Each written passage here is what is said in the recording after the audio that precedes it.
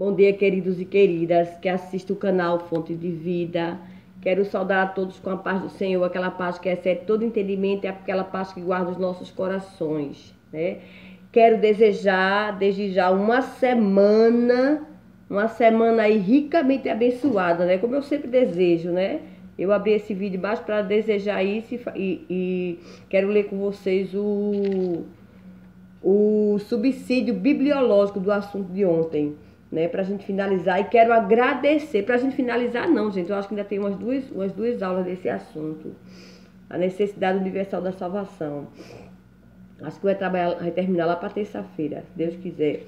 É, quero, quero agradecer né, pelas pessoas que estão dando visualizações, que têm chegado no vídeo, né? É, sou muito grata ao Senhor pela vida de vocês. É, ciente de que sem vocês essa obra não poderia continuar. Então, Deus abençoe ricamente a vida de vocês. E vamos continuar orando, né? Eu coloquei aqui o nome de alguns países também e a gente vai estar orando para o Senhor estar abençoando. É bem verdade que muitas vezes a Bíblia diz que as orações dos santos, elas sobem com cheiro suave, né?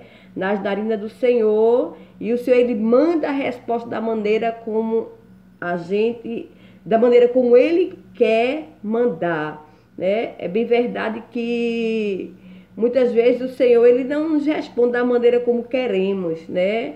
Como, ou como gostaria. Né? Muitas vezes é, o Senhor ele trabalha nas nossas vidas no silêncio. E é como se, e muitas vezes traz, o silêncio ele traz muita inquietação, né? Mas no silêncio é como se o Senhor estivesse dizendo assim, aguarda, aguarda mais um pouco, espera, deixa eu trabalhar, deixa eu agir, fica no teu lugar. É né? como se o Senhor estivesse dizendo isso pra, para nós né? E é bem verdade que há um, um, um, um versículo lá em Jó que diz assim: o homem. É, o homem é de, bem, de poucos dias e cheio de inquietação. Ele diz mais ou menos isso. O homem em si, né? É de bem poucos dias e cheio de inquietação, né? Mas quando, quando a gente estamos inquieto, a gente lembra daquele versículo que diz assim, 1 Pedro 5,7, que diz, lançando sobre ele as vossas ansiedades, porque o Senhor tem cuidado de vós. Então Deus cuida, né? Na prova Deus cuida, no deserto Deus cuida. O deserto, ele não mata o crente, mas muitas vezes o deserto ele nos ensina a confiar mais no Senhor. No deserto Deus trabalha, Deus trabalha lindo e você vê né? Assim como o povo de Israel, eles viam a glória de Deus é, sendo manifestada na vida daquele povo, a grandeza de Deus, os milagres de Deus, né? O crente aqui na terra também ele experimenta né? a grandeza e os milagres de Deus no, no, no, no momento do deserto, né? E, e, é bem verdade que o deserto ele não, não dura para sempre.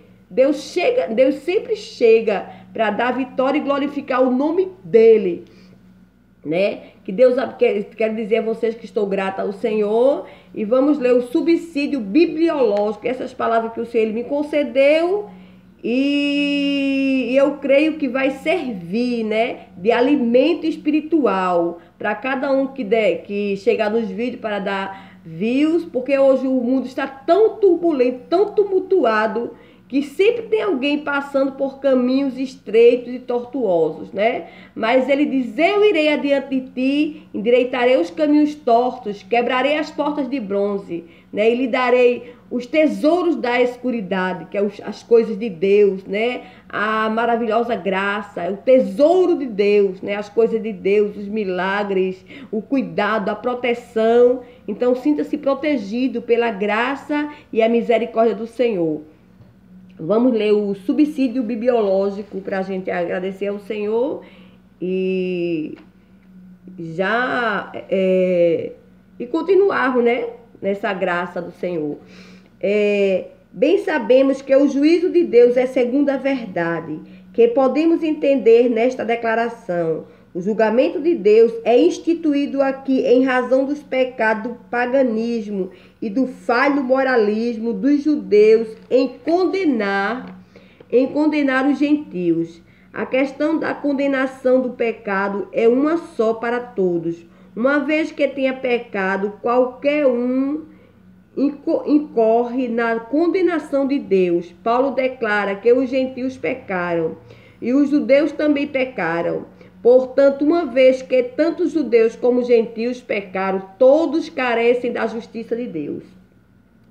Os judeus criam que possuía privilégios especial e por isso poderia escapar do juízo, já conhecido para os gentios.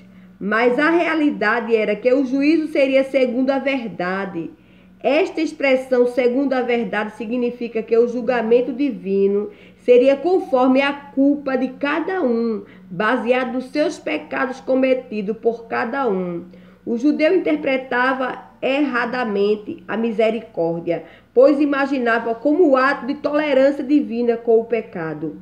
Deus demonstrou aos judeus sua bondade, tolerância e longanimidade, a fim de que eles deixassem o pecado e se arrependessem, mas não fizeram caso dessa riqueza e por isso, por sua dureza e impenitência ou falta de arrependimento, e por julgarem negativamente o propósito divino, entesouraram para si ira para o dia da ira.